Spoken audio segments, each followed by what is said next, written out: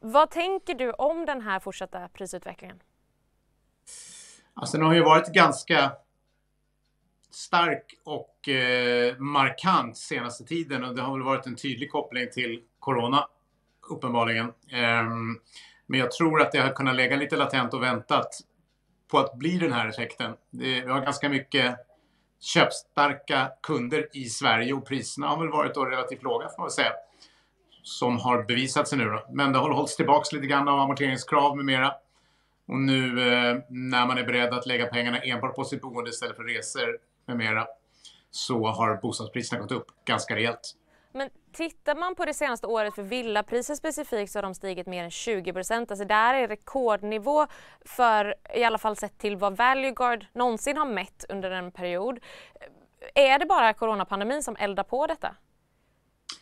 Nej, eller till stor del ja. Men sen har det ju varit också historiskt, om man backar tillbaks bandet då, så har det ju säkert bromsats upp lite grann i prisökningarna med amorteringskrav eh, och så vidare som visserligen har varit sunt såklart. Men det har gjort att marknaden har stått rätt still under en period och, och den brukar normalt sett öka lite grann. Eh, så att det här är väl på sätt och vis en säga, effekt utav att marknaden inte har gått upp så mycket som den skulle ha kunnat gjort eh, med amorteringskrav med mera och ett tillägg att det finns mer pengar in på marknaden som skulle kanske gått på resor och nöjen och annat som man kan. Plus att man då vill unna sig själv i alla fall någonting bättre hemma. Så att vi har väl de ur säljarperspektiv de bästa förutsättningarna som finns för att sälja till ett riktigt högt pris. Ja precis, för transaktionerna ser man ju om man tittar på bostadsrätter då, särskilt transaktioner, så har ju de skjutit i höjden. Samtidigt så är prisutvecklingen ändå för bostadsrätter får vi säga relativt stabil, det är 8% på årsbasis där då det är samma kurva som vi har sett eh, tidigare år. Men hur ska man då ändå tolka det här? Allt fler transaktioner och samtidigt stabilare prisutveckling för bostadsrätter? Mm. Nej men det är väl lite grann såklart att folk det är lite olika segment. Eh, lägenheter som tidigare såldes fruktansvärt snabbt och höga priser, alltså små lägenheter, ettor eh, och tvårummare, har svårare att sälja idag.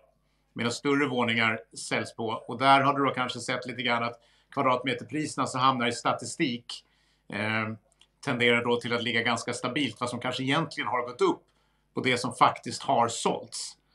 Eh, utbudet idag kan jag som mäklare känna är lägre än vad det varit tidigare år. Och det kanske är för att det är väldigt mycket affärer som görs underhand, alltså utanför bostadsmarknaden.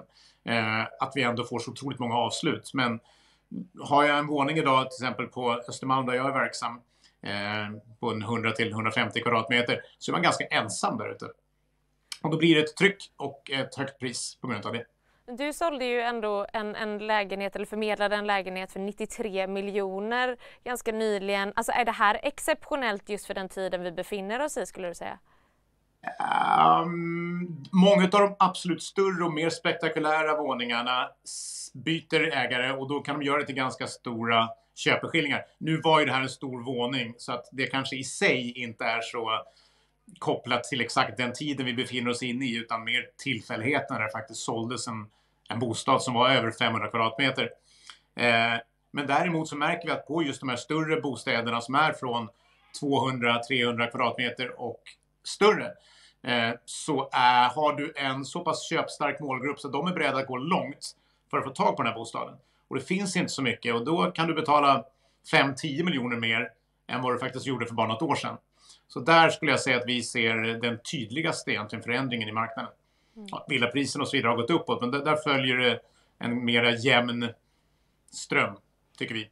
Eh, men de absolut största bostäderna är de vi säljer allra dyrast nu. Vart är det här på väg då? Alltså när kommer vi se att det, det svalnar, tror du? Eh, men nu skulle jag misstänka att vi kanske börjar nå någon form av platå, eh, där vi kanske inte ser samma starka uppgång.